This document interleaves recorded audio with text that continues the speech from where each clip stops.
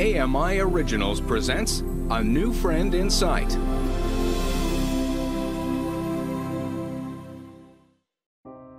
There's something I haven't told you yet. I am blind. I am completely blind. I can't see my face in the mirror. I can't even see my hand in front of my face right now. And I certainly can't see any of you. Her name is Molly Burke, a petite 20 year old inspiring motivational speaker. When she was four years old, her world started to darken. When I was in grade one, I started realizing that I was different than the other kids because I had a special teacher that sat beside me and was learning how to read with my fingers instead of my eyes. Doctors diagnosed her with retinitis pigmentosa, imposing words that describe a terrible retina disease that eventually causes permanent loss of vision. I think it was really hard for my family to watch me go through a grieving process that they had been through themselves when I was diagnosed with RP at four. I felt like I was my blindness. That was the most identifying feature of Molly. She's the blind girl. And it's hard to feel like all you are is a disability because it makes you feel like you're a walking, talking burden on everyone around you. At age 14, Molly lost all of her sight, but gained an inner gift. A gift she now shares with the world through public speaking. I couldn't see the faces of the girls who bullied me. I was alone in a forest. I couldn't see, I couldn't walk. They took my crutches, my backpack, and my dignity. But I found my voice, and my voice is strong.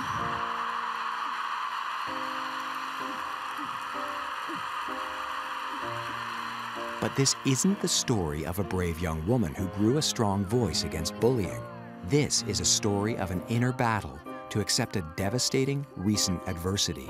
It was harder, in a sense, than losing my vision, than the bullying and the mental health, because I lost the person or, or the animal that got me through all those things.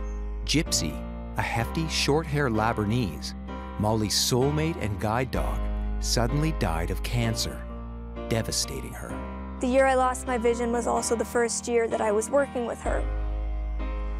And to see the bond and the companionship when I felt like I had no one else that I could rely on or talk to, I had her.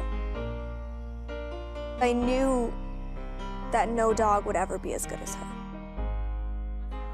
Nicolas Saint Pierre is the Director General at Mira, a non-profit organization and unique guide dog training facility in Sainte Madeleine, Quebec. They are specialists when it comes to matching guide dogs with handlers. Molly has handpicked Mira, putting her hope and future in their reputation. You have to start over again, and that's the part that people sometimes forget. They come back to get a dog and they say, I want exactly what I had with my old dog. Well, that's impossible. Karen Winter, senior trainer and instructor at Mira.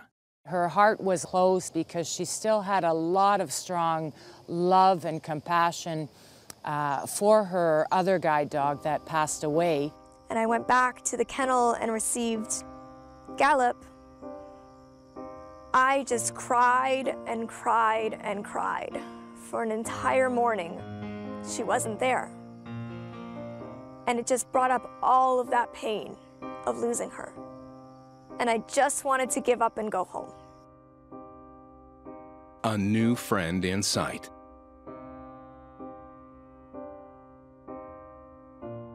Molly Burke is now fighting a second battle in an even darker place the loss of her cherished guide dog, Gypsy. But before we can explore this story, we need to go back to the beginning for an understanding of who Molly Burke is and what her journey has been like. I am a full-time motivational speaker. I speak about everything from bullying to mental health issues to leadership and overcoming adversity um, to large groups of audiences, small groups of audiences all over the world. And I love my job. I'm very lucky to have it. As important as it is to speak out, silence can be powerful, and silence can be loud. And I am here at the Mira Foundation in Quebec to get my second guide dog. Molly Burke is like any other 20 year old girl. I love shopping and music and Starbucks and uh, hanging out with my friends and going for walks and doing anything else any other 20 year old would do. My name is Neve Burke, and I am Molly Burke's mom. My mom is, she's like that Zen, we call her uh, Dalai Mama instead of Dalai Lama because she's, she's just that always uh, able to whip out one of those inspirational lines at any moment. She was just like, go, go, go, go, kick, kick, kick, kick, kick, you know, that sort of kid. And then when they're born, it's like a dynamo, just go at it and, and just, you know, just going for her, her goals without really putting, there's not too much fear in there. It's just like she has visions and she wants to go for them. My dad is someone who can always put a smile on your face by telling the cheesiest jokes uh, that you smile at simply because he thinks they're funnier than they are. I have an older brother named Brady. He's, uh, he's my inspiration. He's the person who inspires me to be the best person I can be because I look at him and I know he's pushing himself every day to be the best person he can be. And so I want to be like that too. My name is Peter Burke, and I'm Molly's father. Eh, Mo- Molly is an um, incredibly um, vibrant person. She's vivacious. Um, she's very outgoing. She's very people-oriented. Um, she uh, loves to talk, um, uh, and she has got a remarkable ability to engage people. Growing up, my parents were incredible at helping me to be like any other kid and having the experiences that any other kid would have. Part of it came from some great advice we got from her uh, original doctor at Sick Kids, Dr. Eon, who sort of suggested, because we were very nervous when we first found out what was going on. You know, I guess typical parents, we just got very scared about what that meant for the future. And I think she gave us great advice, which was to, to let Molly be the judge of what she can and can't do. Mm-hmm. And we really took that to heart, I think, mm-hmm. and that yeah. we just made us realize that no, let's let her be the person who just sort of says, I'm no longer able to do this. realizing, you know, thankfully and happily that when she hit the playground, she was going to go to the very top of the, you know, the, the, the bars section and swing her way across. And just watching that, or she'd have an eye patch on, trying to make one eye stronger. And we'd be in this huge park with all the other kids and thinking that she can still see, you know, and, and, and she's just flying around the playground equipment like everything's fine. We wanted to give her the confidence to really sort of stretch herself. When she kind of started realizing a little bit around six, seven that she was potentially going to lose her vision, we thought maybe around 40, or she just said, I want to try everything. And I think that would have been her anyway, way, but so we, we just had to put a plan of action in that meant that she could try everything while she had her vision. Um, so yeah, we just had great fun making sure she skied and, and uh, played basketball, which was terrifying. They threw me into skiing and horseback riding, acting classes, art classes. I was on a soccer team and basketball, tennis, everything you could imagine. My parents threw me into. She wanted to do everything. She was happier doing stuff. On that level, my life was like any other kid. They let me fall and scrape my knees if that's what I was gonna have to do. But normal kid or not, the challenges were starting to appear. She was starting to have social issues in that she couldn't keep up with the, the pack, especially in the playground when it's running around and playing tag or, you know, your friends disappear and you can't find them and especially when you're very little and there's big kids in the playground, it was, uh, I think, very, very scary for her. I knew that I was a little bit different. Um, and I learned how to say retinitis pigmentosa. And I learned how to describe it to people. But I didn't actually know how what I was saying would affect my life. Coming up on AMI Originals Presents A New Friend in Sight. It's hard to feel like all you are is a disability because it makes you feel like you're a walking, talking burden on everyone around you. Welcome back to AMI Originals Presents A New Friend in Sight.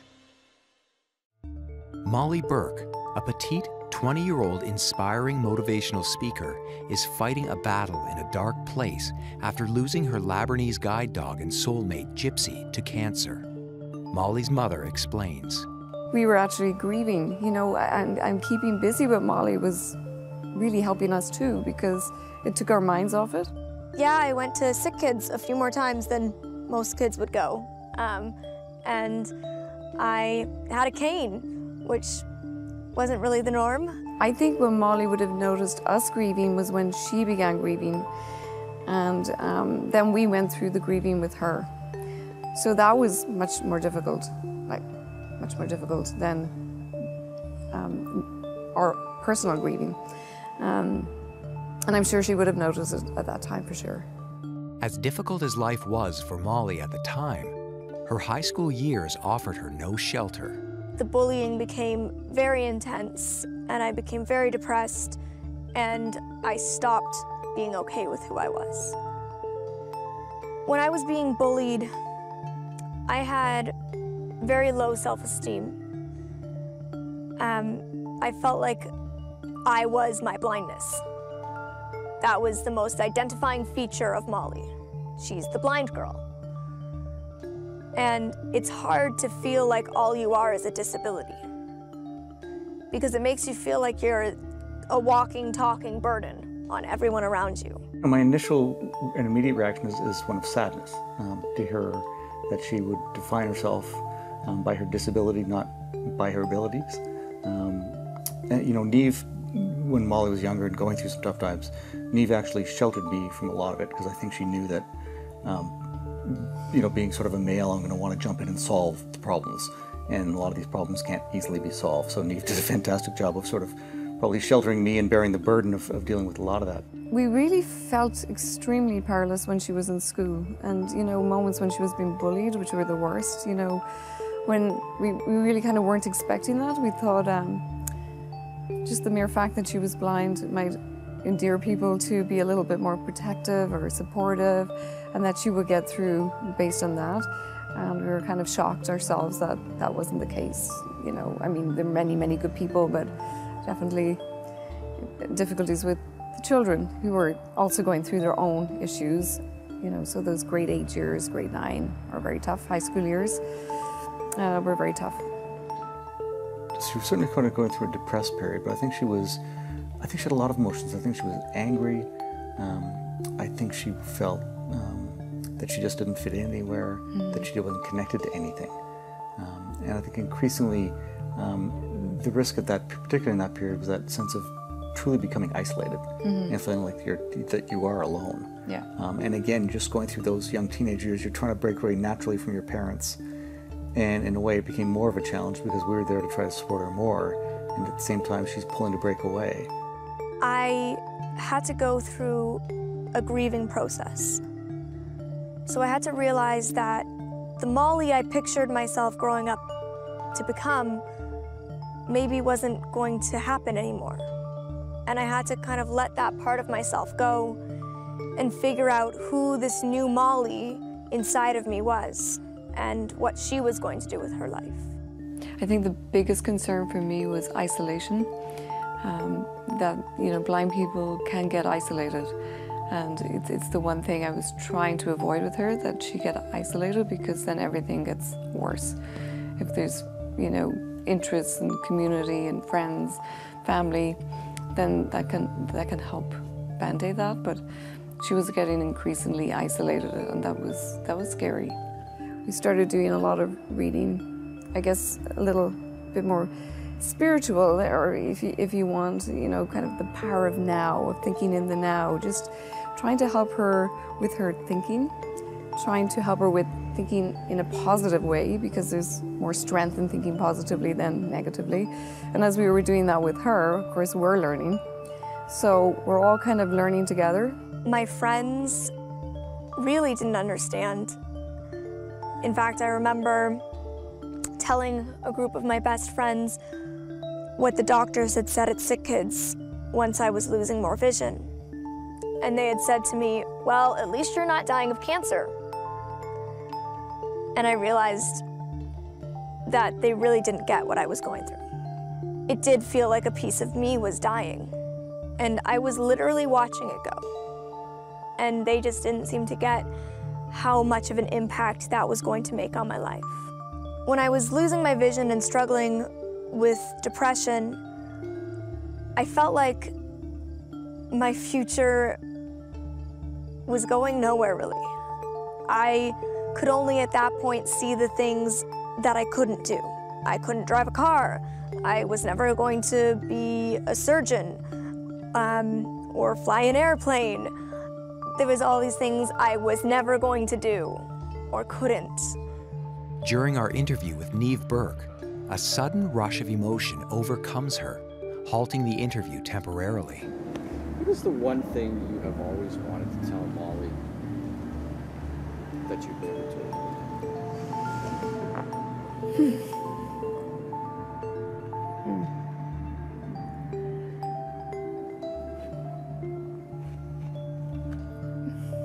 stop? Yeah. And I told her, I, I, I'm not leaving your side until you're better. And, you know, that's just what the plan is. I, I, definitely was looking down from the time she was diagnosed, going, oh dear, you know, what's going to happen? And the more I found out, 80% unemployment in, in the blind community, that was deeply concerning. Um, but at the same time, it kind of pushed me.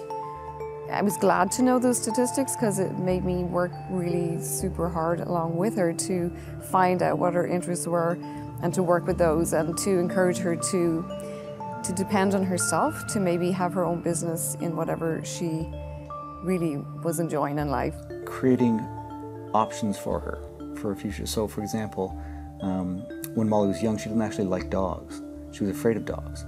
And we thought that there might become a time where I should either need a guide dog or benefit from a guide dog. And we thought, let's get her comfortable with dogs. And we ended up getting a family pet just so she could be comfortable you know, with a dog, and that down the road sort of laid the foundation for her to be able to go and get it, get her first guide dog. You know, equally, it was just always about creating opportunities that so she could see a potential future and she'd have choice and options, versus feel like you know that those kind of things were taken away from her. So it's almost like treating her like any other child, saying, "The world is yours. Go carve your path." My name is Karen Winter. I'm a senior trainer instructor here at La Fondation Mira, the Mira Foundation. Mira is unique because we're one of the only guide dog training centers that offers guide dogs to children under the age of 16. Mon nom est Nicolas Saint-Pierre. My name is Nicolas Saint Pierre. I am the Assistant General Manager of the Mira Foundation. It was my father who decided to give the children guide dogs. You see, he used to see me with my dogs when I was seven or eight or ten years old. He saw the connection I had with my dogs, and he would say, It's impossible for a blind little boy or little girl not to have that same chemistry with a dog that my son had as an eight year old running through the woods with his golden retriever. That's where the idea came from. On reste. Et ça, reste. Our youngest uh, clients to receive guide dogs are 11 years of age. Of course, they have to be responsible and mature enough. The way Mira looked at it was if you have the skills, if you're independent, if you're mature enough, and if you have the lifestyle, then why not why not give you a dog? And I thought that was amazing. They get the support from their orientation and mobility instructors. They've followed, followed courses uh, using uh, White Cane Travel. Um, but uh, that's, it's really special to give a guide dog to a child of 11, 12, 13, 14 years old. Uh, it changes their life. Si la personne If I can improve someone's quality of life, say a person who may never have gone out before starts to go out once every three days, perhaps taking a walk, which they never did before, well, I consider it a job well done. So my goal ever since I had found out about the Mira Foundation when I was eight years old was to get a dog at 13. That was all I wanted. And so that was kind of my motivating drive to use my cane, was knowing that if I had great O&M skills, that maybe Mira would train me with my first dog at 13. Coming up on AMI Originals Presents A New Friend in Sight. And then I became terrified when I found out that the first step was basically for her to go to Montreal by herself to be assessed. Welcome back to AMI Originals Presents A New Friend in Sight. Molly Burke, an inspiring motivational speaker, is fighting a second battle in a dark place after losing her guide dog and soulmate Gypsy to cancer. We had time to prepare a little bit for what was ahead for Molly and, and kind of watching what was happening. Each time we went to appointments, things seemed to be progressing a lot quicker than they had thought. When I was losing my vision and struggling with depression, I felt like my future was going nowhere really. When Molly was young, she didn't actually like dogs. She was afraid of dogs. And we thought that there might become a time where I should either need a guide dog or benefit from a guide dog. And we thought, let's get her comfortable with dogs. And we ended up getting a family pet. I came to the Mira Foundation because they were the only school that accepted people under 18 or 16. So every other school I looked at said, you must be at least 16 or 18 to get a dog. And then I became terrified when I found out that the first step was basically for her to go to Montreal by herself to be assessed. And this was happening, I think it was around the March break. Yeah. And we essentially put her on a train here in Oakville by herself to go to Montreal. Um, and that was a little terrifying to think that my 13 year old, you know, is getting on a, on, a, on a train by herself going to Montreal and she can't see. Mm-hmm. Good. Okay. Okay. En avant. Allez. Mira's unique because we're one of the only guide dog training centers that offers guide dogs to children under the age of 16. Um, a lot of other schools uh, worldwide, it, uh, the age limit is either 18 or maybe even 16 at this point in time. But our youngest uh, clients to receive guide dogs are 11 years of age. With children with pervasive developmental disorder, we first look at their family, whether the family has real motivation for introducing a dog into their lives. Because at the end of the day, it is a lot of stress. They already have a stressful life with their children and all the comings and goings of their daily routine. Then, to add a dog to their family, well, is it going to help them or is it going to take them further down? So, this is mostly what I look at. And sometimes, well, sometimes you have to think, we are here to help people. So sometimes they don't necessarily have the potential. N- no, not the potential. I don't like the word potential. Uh, rather, the profile of people we can really help, or for whom a dog is going to make a difference. And sometimes the dog can really make a difference. It also depends on people's will to get involved with their dogs. And I was so nervous because I knew that if I didn't pass the O&M evaluation, if hanging around the dormitories they didn't feel I was mature or independent, that they weren't going to give me a dog. So I was so nervous. I tried to be on my best behavior, to do everything right. And that moment after the few days that I had spent here where they said, we're welcoming you back for July, it was one of the most exciting things I've heard.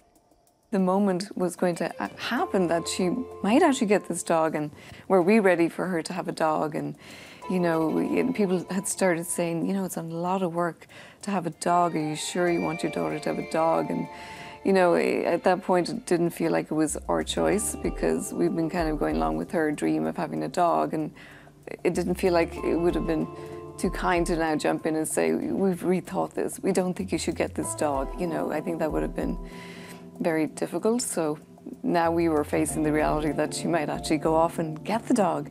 So 13 is a very young age to get a guide dog. I received Gypsy in July of 2007. I would say Molly probably just got Gypsy at the right time going through teenage years because I'm not so sure that Molly would have gotten through it without Gypsy. It's, it, it's up for grabs. I, I just don't know. The person who surprised me the most through this period with the support they gave me was actually not a person at all. It was my guide dog, Gypsy. The year I lost my vision was also the first year that I was working with her. And to see the bond and the companionship when I felt like I had no one else that I could rely on or talk to, I had her. Molly's outlook, really. Um, Gypsy was, you know, a, a, magical change in her life. I think she gave her um, companionship and a best friend.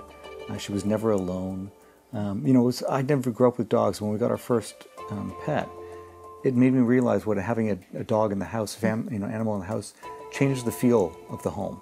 You're never alone. They're happy to see you, and I think that connection with with a guide dog and and, and you know the owner is so much deeper. They bonded. They seemed to have very kind of similar personalities. Gypsy was kind of like a little bit teenagey, girly. They, you know, they a little bit look at me and. Gypsy was something else. She had many nicknames: Princess, Diva Dog, just to name a few. So you probably understand what kind of girl she was. And the funny part about Gypsy was that she was a little much for me. At 13, I was even smaller than I am now. Um, and I was still a little bit fearful of dogs. And I think it, that was a transformative, I think, experience mm-hmm. for Molly. In the household itself, um, yeah, Gypsy was another big personality like Molly. I mean, when she first came in, mm-hmm. she was very quiet and, and, mm. and, and retiring. Yeah. But as she came out of her shell, it was just like, great, now we have two big personalities in the house. And they brought out this 65 pound bundle of two and a half year old energy. And it was overwhelming. And I tried these other dogs who were calm and quiet and small. And I thought, oh, they're nice. And uh, I didn't realize that I needed the spunk in my life. I needed the, the gypsy energy around me. It was just the, the perfect match for, for Molly. So she, she just made Molly laugh and kept her, gave her her best friend. And um, it, was just wonderful. And, and it, it, made, when, when she was walking down the road, everything was easier. She could walk fast. She, it made her gave her way more to talk about with her friends and, and with family and with everybody and her whole, whole, whole world just opened up. And when we were doing our kennel walks for the first few days of training, I would walk with all these dogs and they would walk me perfectly through the obstacle courses. I would walk with Gypsy, she'd walk me perfectly through the obstacle courses.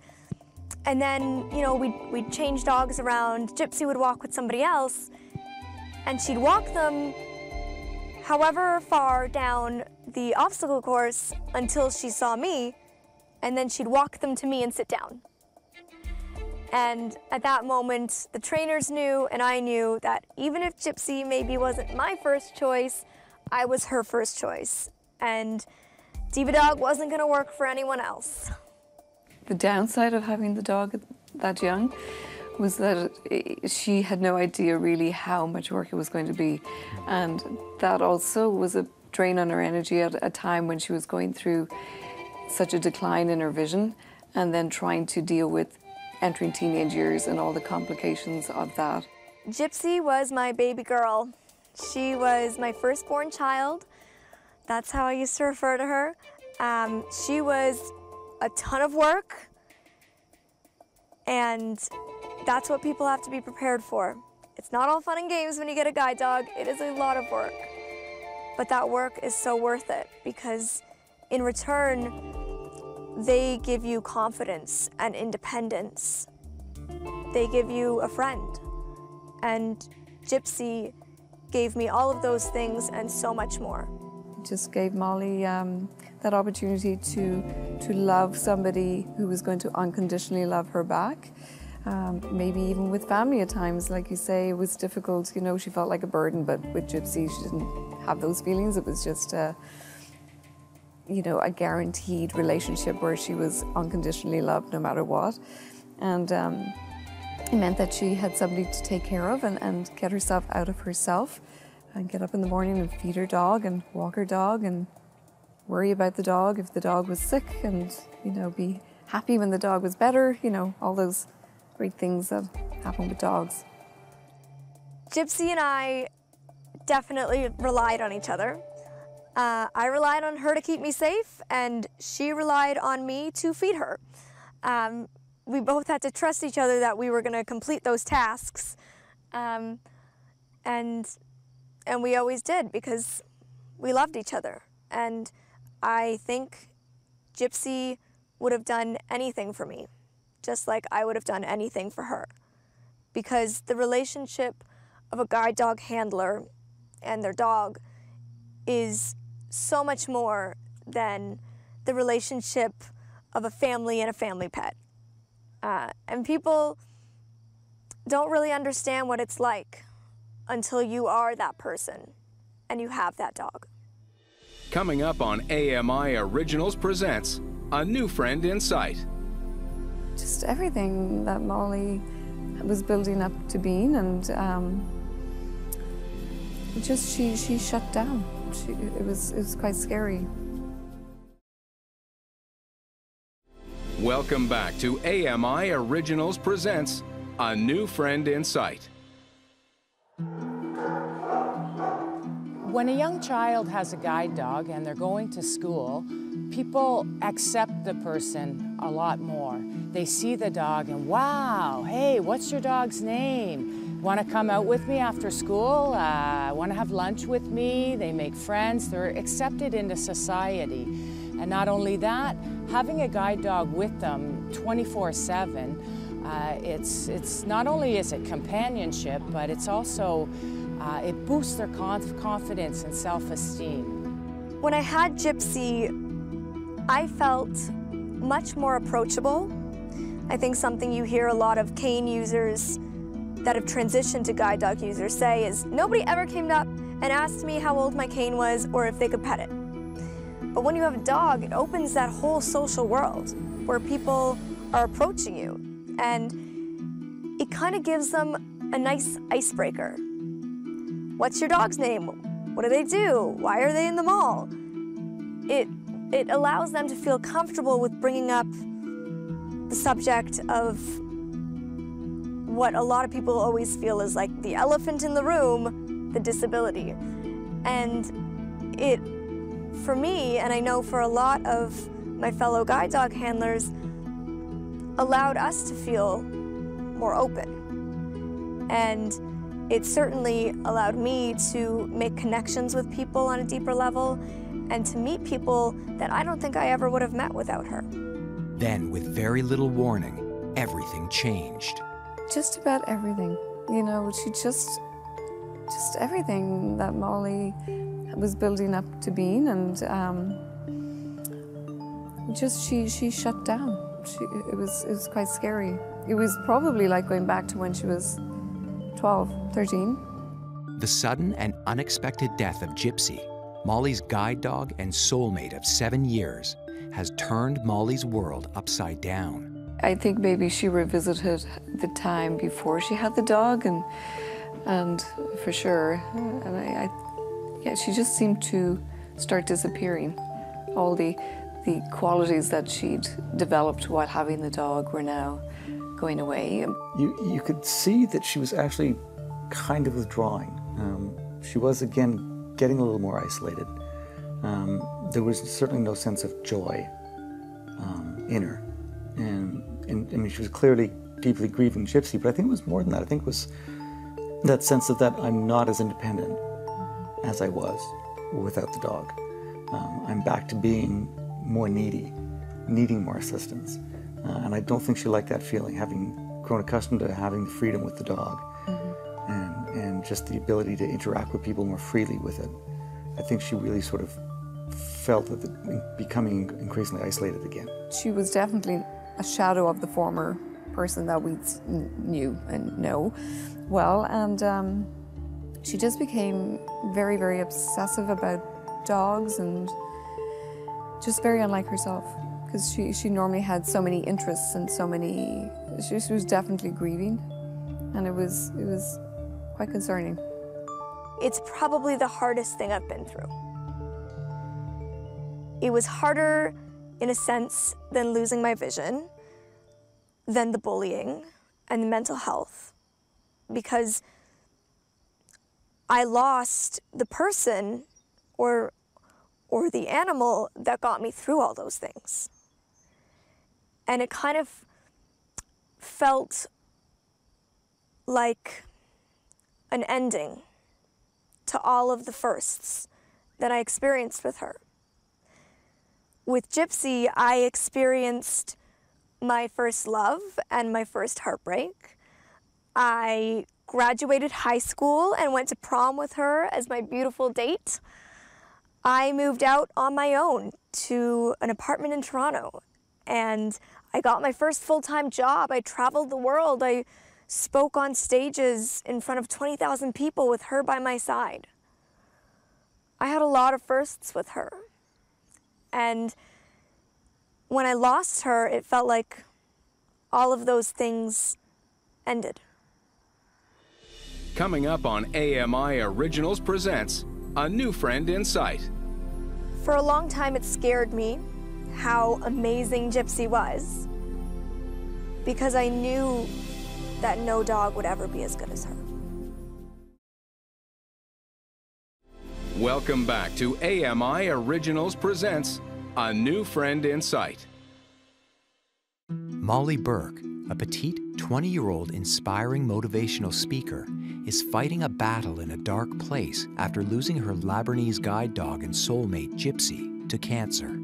When I had Gypsy, I felt much more approachable. I think something you hear a lot of cane users that have transitioned to guide dog users say is nobody ever came up and asked me how old my cane was or if they could pet it. When a young child has a guide dog and they're going to school, people accept the person a lot more. It's probably the hardest thing I've been through. It was harder in a sense than losing my vision, than the bullying and the mental health, because I lost the person or or the animal that got me through all those things. She was definitely a shadow of the former person that we knew and know well, and um, she just became very, very obsessive about dogs and just very unlike herself because she, she normally had so many interests and so many she, she was definitely grieving and it was it was quite concerning for a long time it scared me how amazing gypsy was because i knew that no dog would ever be as good as her and i've come to realize that i will never replace gypsy there's never going to be another gypsy and I wish there was. I wish she was still here, but she's not. And as hard as that is to face, that's a part of what you get into when you get a guide dog. Sitting in the front passenger seat of the family car, Molly travels anxiously back to Mira seven years later, this time with a grieving, heavy heart. I am here at the Mira Foundation in Quebec to get my second guide dog. The trust that you have to have with a guide dog is huge because my life or the life of a guide dog handler is in those four paws. If, if they don't stop at the curb and they walk you out into the middle of the street, you can get hit by a car. I brought with me to Mira this time around a rock that I had painted when Gypsy passed away. And it has her face painted on it, and it says Gypsy in Braille. And I brought it because, one, I want to be able to introduce my new dog to her, and two, because it helps me to feel like she's watching out for me while I'm here. And I also brought a necklace, a very special necklace to me. It's made of dog bones, and it has two angel wings and a heart and a peace sign. And I've worn that necklace almost every day since she passed away. It's my gypsy necklace, and it makes me think of her. Makes me feel like I have a piece of her with me. It was hard on her in the sense that her heart was a little closed at first because she still had a lot of strong love and compassion uh, for her other guide dog that passed away. As Molly settles in for her first night at Mira, she sends her family a quick goodnight text, then turns out the light.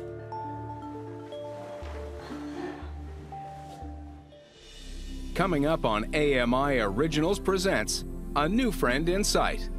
My main thing would be that she wouldn't get through the training process because she was quite fragile emotionally and physically. Welcome back to AMI Originals Presents A New Friend in Sight. It's early morning. The sun is rising. The process of matching a guide dog with its ideal handler is so sensitive that our cameras are not allowed to film Molly's first few days at Mira for fear of disrupting the delicate process. Karen Winter, a veteran trainer at Mira, explains.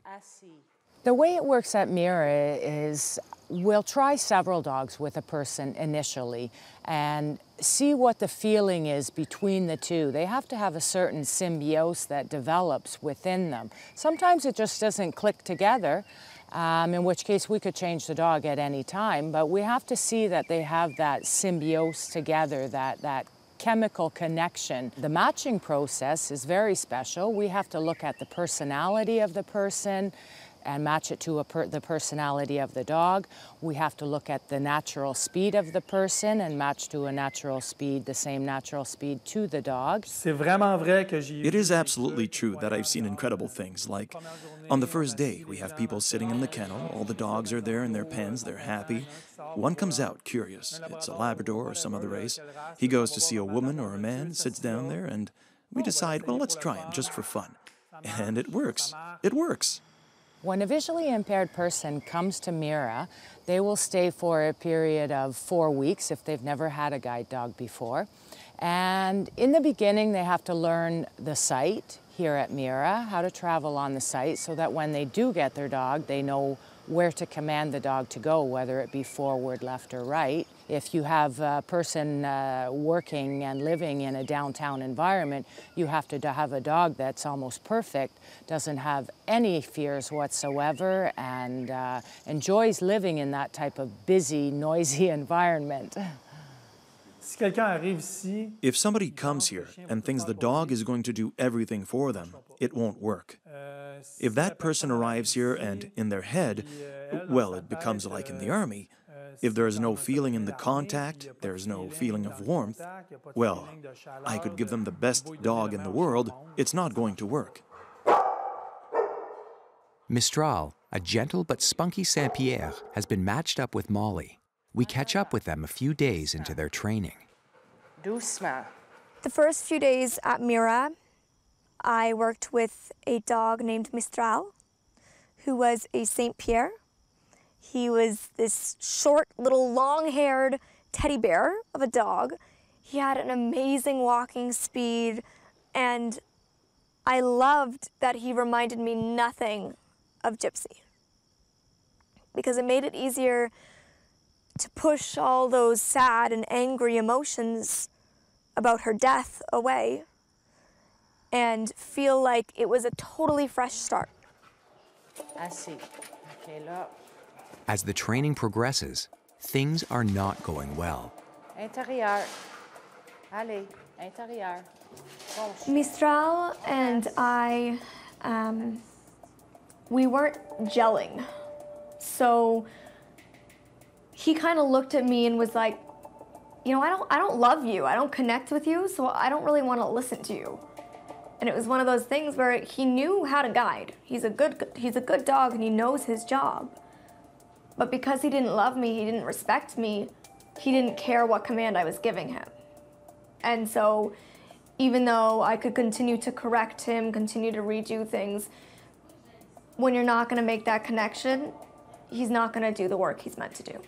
I couldn't feel safe with him guiding me because our trust uh, as a working team wasn't there. And when I realized that that dog wasn't meant for me and it wasn't meant to be, and I went back to the kennel and received Gallop, I just cried and cried and cried for an entire morning. And I just wanted to give up and go home. Because every time I put my hand on Gallop, who is a tall, strong, short haired Labernese, just like Gypsy was, it felt like I was touching her, but it, it wasn't. She wasn't there. And it just brought up all of that pain of losing her. My main thing would be that she wouldn't get through the training process because she was quite fragile emotionally and physically after Gypsy passing away. So, would her health hold up? That was major. My big goal, week one, was to find a dog that was nothing like Gypsy. And I did that. And it didn't work. I used to call Gypsy my really long left arm. She was just my left side. She was always there.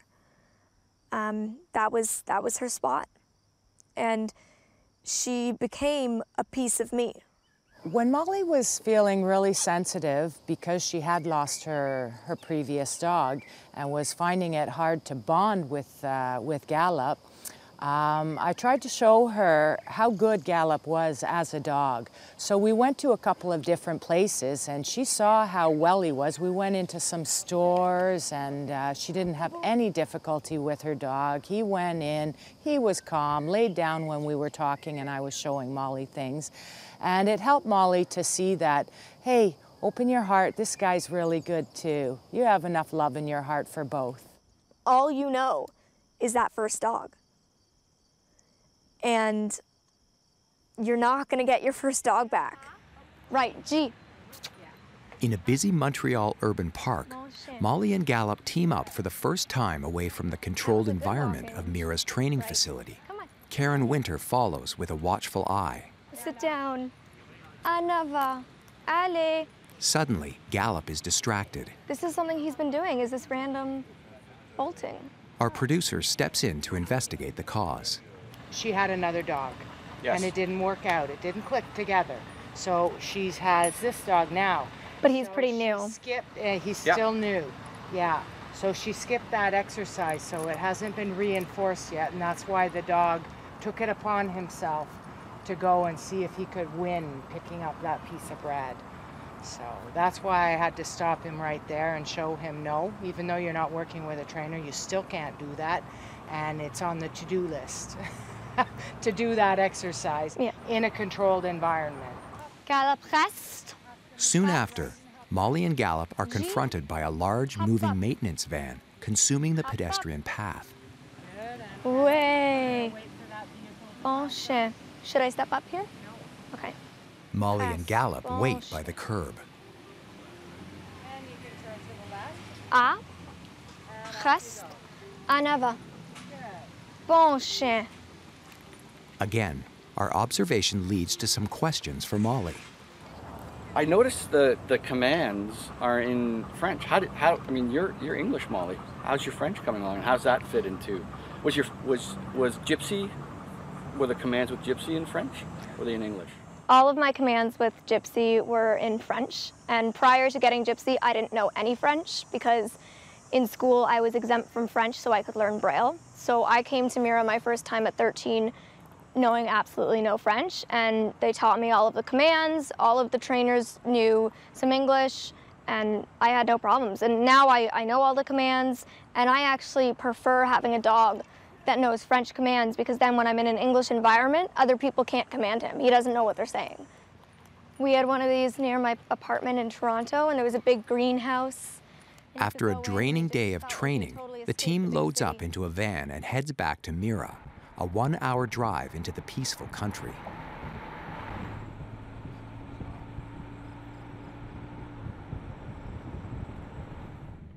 Back at Mira, Molly describes her routine. Usually, after a day of training, I just head to my room, get the dog some water, probably change into something more comfortable, um, and then I'll usually just go hang out in the common area and wait for dinner. Today is Monday, and I got Gallop on Friday morning, so I've only had two full days of training and one half day. That's it. Things with Gallop are going really well. He's a huge sweetheart. He's 90 pounds, so he's bigger than me. Um, weighs more than I do because I'm really petite, but he uh, he it can be intimidating at first, but when you get to know him, he is like the most zen dog. I have a couple nicknames. I call him Mr. Zen, Buddha Boy, because he's just like this totally calm dog. Today was a really good day. Uh, it was very hot out, but we went to Montreal, downtown Montreal, um, all piled in this big car together, and went to a park, which was really nice. And we did routes to make sure the dogs weren't distracted by the squirrels and other dogs and didn't want to sniff the grass. And there was like tennis courts so making sure the dog's not distracted by the ball going back and forth, and there's so many different distractions for them. Ponds with water, and and so it was a neat experience because you get to see what your dog's really like in an everyday environment. The first week of class, of course, it's the matching period. Um, you have to show the dog that the same rules apply with the, the new master as it did with the trainer. Part of training is bonding and learning to trust each other. And so I'm learning to trust him to know that he, he does his job and he's going to keep me safe in these environments. And he's learning that he needs to listen to me and that I'm his master, I'm his owner. Um, but that also, if he thinks I'm making a mistake, you know, it's intelligent disobedience, that he's not going to cross the street when I say so if he sees a car coming. So you have to show the dog that they have to work for you in the proper manner and you will get rewarded the same as a trainer will do. You will get petted. You will get shown that thank you so much for working for me, petting, loving, uh, sometimes food rewards even. Coming up on AMI Originals Presents, A New Friend in Sight. I dealt with construction issues all the time, and I, I know I felt much safer doing it with Gypsy. Welcome back to AMI Originals Presents A New Friend in Sight. All right, buddy. Come here. He's so much stronger. Back in her dorm room, Molly and Gallop relax and begin the bonding process over a game of tug of war. My goal week two was to work on connecting and bonding with my dog, work on our communication, and learning each other. In week two, we do a lot of uh, traveling in the neighboring towns. So the person gets more experience with the new dog on actual routes, with street traffic, and sees how the dog uses his, uh, his brain to, to get around and go around the obstacles. It's a windy, hot day. Molly, a trainer, and fellow guide dog handler go out with their new dogs to practice what they have learned. A building under construction has caution tape at shoulder level, blocking the sidewalk. Okay, so we have uh, a barrier here. Great. So, what are we gonna do? We could go back and cross over to the other side of the street. We could. Um, or You could, except for the fact that back there it's an uncontrolled crossing. Oh. There's no, there aren't any stop Any signs. nothing. Yeah. Okay. The only option I have is to wait for assistance. That's right. Wait for assistance because you don't want to go out into the street. Uh, there's uh, because of the construction, you don't know how far out into the street it's going to go. So we would ask a construction worker to help us at this point. But you're lucky. You have me. Take my arm and follow me. Should I stay here and wait? Yeah. When I was living downtown Toronto in an apartment on my own, uh, we had construction for a good six months on the main intersection and the sidewalks where I lived. So I dealt with construction issues all the time, and I, I know I felt much safer doing it with Gypsy. The challenge of getting a new guide dog is one, realizing that no, it's not your old dog, even if it kind of seems like it sometimes. And two, that those habits that you got into with your old dog after working it for five, eight, ten years, he doesn't know those things. The number one thing is safety. So they always have to know how the street crossings are controlled, whether it's with stop signs or with lights. And then when they did get to the lighted intersections, uh, some of them were complex lights with uh, priority left turn, so they had to stop and analyze that, decide which parallel traffic to go with. So it was, it was tough, and it's a hot day too, so uh, it runs on your patience. Yeah, but they did a wonderful job. All of their analyzing was perfect, 100%. Nice straight crossings, good obstacle work. They did a good job today.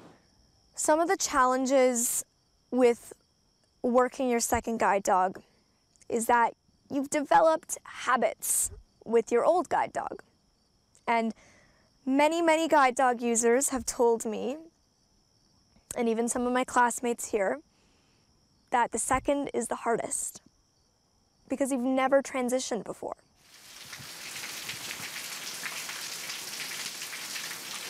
It's early morning, and the team is greeted by heavy rain. A good day to head into the city and take on a hectic subway system.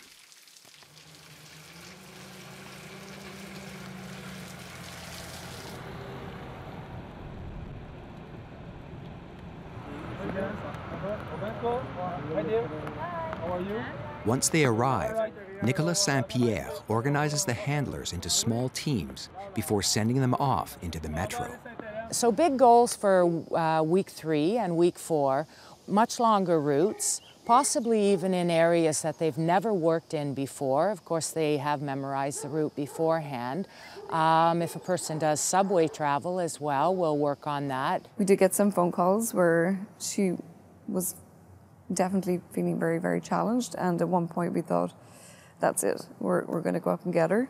And then an hour later, we phoned just to confirm, told her times we could come. And by then, she said, It's okay, I'm going to give this a shot. I think I'm going to be okay. Riding in a busy subway car, trainer Karen Winter, along with Molly and Gallop, and a fellow handler with his dog, all prepare for their first stop. Can we go to the mall or the wall when we get out? The subway doors open and the platform quickly fills with rushing passengers in all directions. The team navigates the human maze and heads for the safety of a nearby wall. Oh, okay, have your dog sit.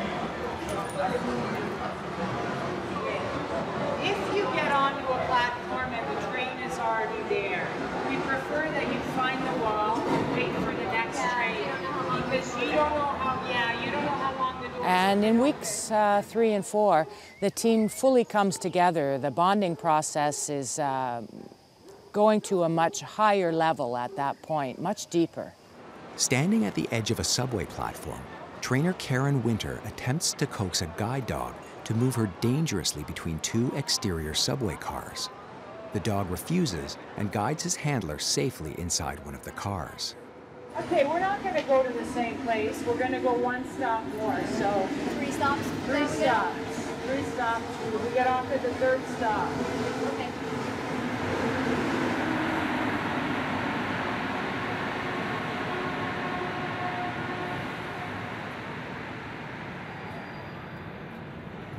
Next, the team heads for a busy escalator.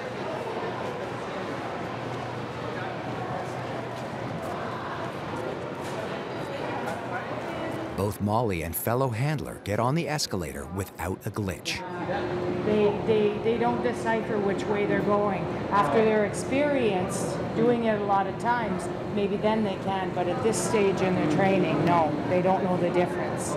Escalators were always a challenge with Gypsy. It was one of those things that made her really uncomfortable. Tail would go between the legs, she'd be panicking to try to get off. So I'm not used to having a dog that's so smooth and just gets on, stays till the very end, and walks off. So I'm really happy with him in escalators. It's, it's nice because with Gypsy, I'd always try to find stairs or an elevator.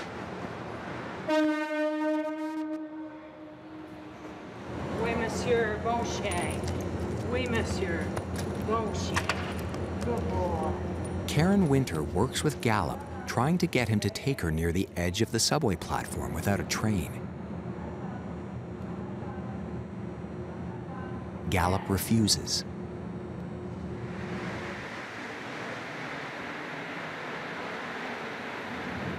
Now it's Molly's turn.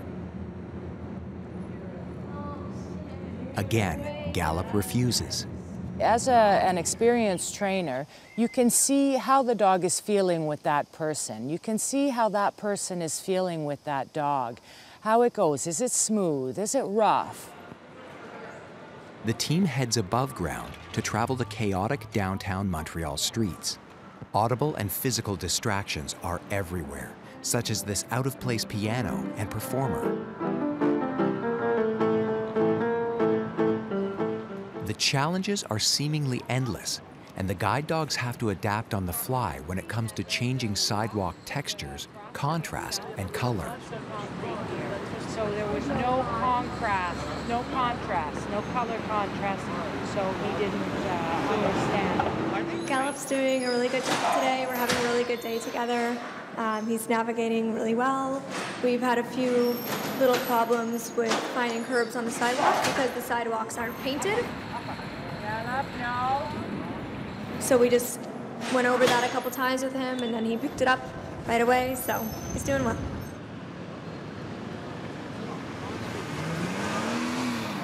There are countless rules that handlers and guide dogs have to know and follow, especially when crossing chaotic downtown Montreal streets. Why don't you pass in front? Gallop carefully maneuvers Molly around a large street pole, then stops her gracefully at the corner of a busy intersection.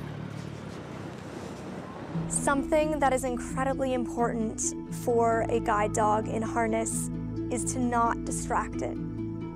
Don't pet it, don't look it in the eyes, don't talk to it, don't make cute faces at it, pretend it's not there. And I know it's hard, but ultimately, my life is in those four paws.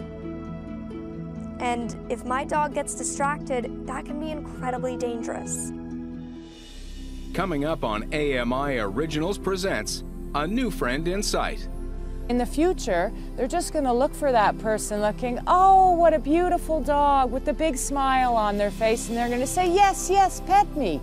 But no, you can't have that.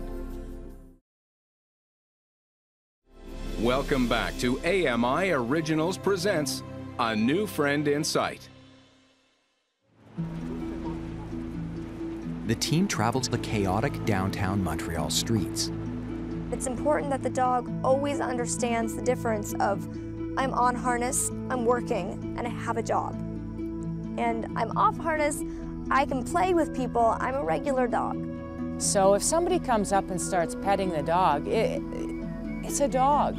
They love to be petted, you know? So they're gonna, in the future, they're just gonna look for that person looking, oh, what a beautiful dog with the big smile on their face, and they're gonna say, yes, yes, pet me. But no, you can't have that. You're working, you have to concentrate, you have to be safe, keep your master safe, and when we're all done, then you can have your free time, your playtime. Up, up, up, up, up. Now, if I notice that something just isn't right, uh, I jump in there and I, I, show, I would show Molly, no, you should be doing it this way, and this is the reason why. This is what your dog is doing. This is why he's doing it, and this is what you have to do to solve that problem. Today we did some walking down the busy streets of Montreal, um, which can be intimidating. But as the day moves forward, there are still a few bumps in the road. Gallop. Gallop accidentally walks Molly too close to a protruding advertising panel. It makes contact with her shoulder.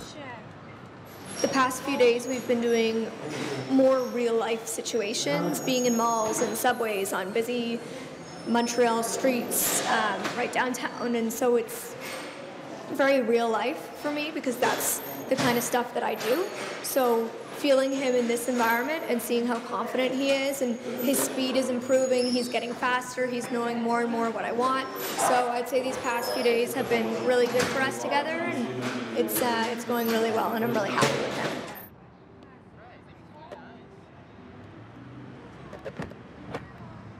And with my big beast by my side, Gallop, um, I felt completely safe and completely confident getting to the street corners, crossing the streets, making my way through big crowds, and and uh, it was nice to know that I can feel safe with him because with Mistral, that was an issue. I I just didn't feel safe. I didn't feel like I trusted him enough. For the final week of training, I want to soak up every bit of information I can from the trainers. It's, it's nice to go sometimes for a pleasure walk, you know, get away from all the traffic and the noise and just go for a nice, easy, peaceful walk once in a while. It's good for you, it's good for the dogs. Make sure I'm feeling ready and confident to return back to my environment, back to my family, back to my job, my life, with a new partner. Back at Mira, instructor Karen Winter offers Molly an interesting piece of information. I just want to tell you one thing, Molly. Mhm. The cage right behind you, that's where his home used to be. So that's why he's guiding you towards his home and then he clicks in. Right. "Oh, I don't live there anymore. I'm with Molly in the house now. So he like went there and then was like, nope, just kidding, going to the door. Exactly. Once a client has successfully completed their class, then they go home and a trainer will go and visit them sometime within the first month that they get home to make sure that the dog is settling in well in the new home environment, in, in on their new routes that they have to do. Sometimes some things can be a little complicated, a little on the complex side. The dog is unsure, the person is unsure. So it's important to have the trainer uh, go and do a domicile visit to make sure that everything's running smooth. Three or four months from now, I'm hoping that Gallop and I are working as a smooth team, that we were able to overcome obstacles that may have come in our way with the transition home, and that we continue to bond and love each other. Coming up on AMI Originals Presents A New Friend in Sight. It was also scary because you now had to take all of these skills you learned or were retrained on and bring them back to a real life situation.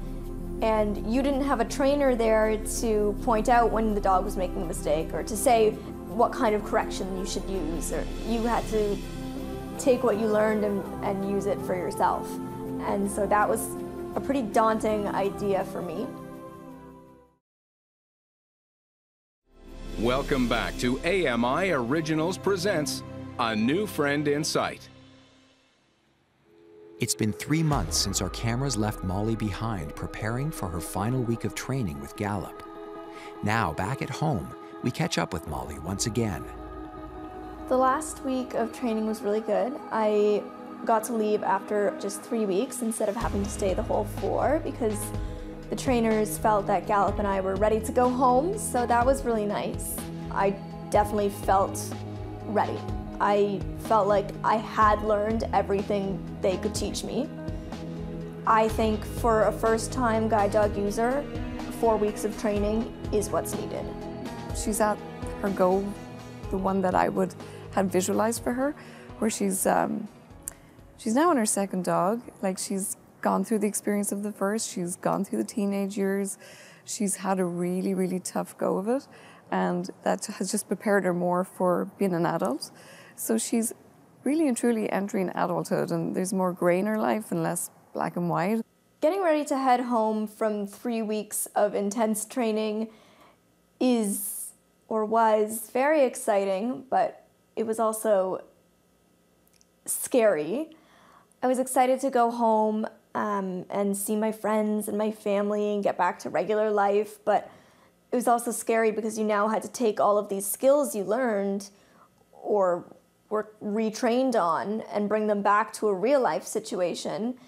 And you didn't have a trainer there to point out when the dog was making a mistake or to say what kind of correction you should use, or you had to take what you learned and, and use it for yourself. Molly not only returned with Gallop, she also returned with a new sense of self. I think she's kind of advanced her growth beyond a lot of young adults her age, and um, I think she has so much to give, and she's just been so creative in her her new business, and it's just incredible to watch her just flowering and blossoming, and and having a great relationship with a boyfriend, and having fun with with other people her age. My initial reaction in, in, in, in seeing Gallop was that, boy, he's big. he's a big dog. Um, but again, you could already see the change in Molly. Um, you could start to see the happiness and the joy come back into her. Um, just having that connection with the, with the dog again. Um, and I remember thinking very early on, I, I wasn't sure how, how she was going to deal with a new dog so soon after losing Gypsy. Um, but it was remarkable to see that, that again, the comfort level um, he was giving her and the support he gave her. Um, and he, I remember her remarking that he was actually a better guide dog than Gypsy was at the same stage. I believe that Molly's going to have uh, a great time with her new dog, with Gallop.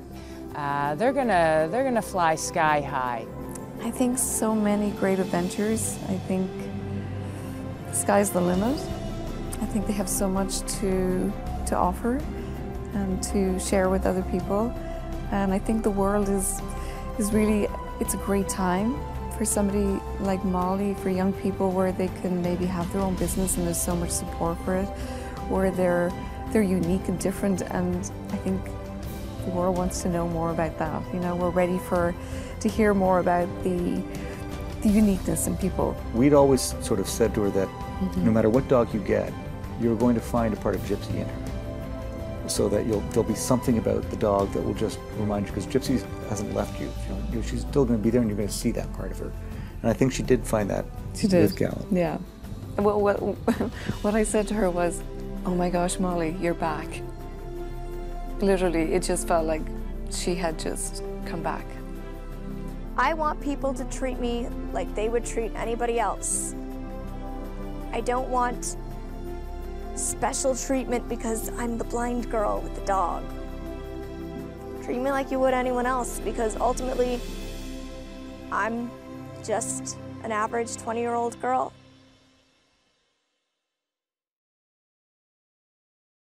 Producer, director, writer Dan Forgs. Narrator Cam Drynan. Videographer Jim Devlin, Darcy DeToni. Editor Darcy DeToni. DV producer Emily Harding. Unit manager Karen McGee. Production supervisor Janice Civitilli. Audio post Mark Bialkowski. Graphics Mike Smith. Special thanks Molly Burke, Neve Burke, Peter Burke, Karen Winter, Mira Senior Trainer, Nicholas St. Pierre, Mira Director General, Lynn St. Amour, Mira Public Relations, Lole Store, Oakville, Ontario, the Mira Foundation and all of the staff and students, Bell Media, and Me to We. Executive Producer, Andrew Morris. Executive in charge of production, Karen Nye. Director Programming, AMI TV, Brian Perdue. Vice President Programming and Production, John Melville. President and CEO, David Arrington. Copyright 2015, Accessible Media Incorporated.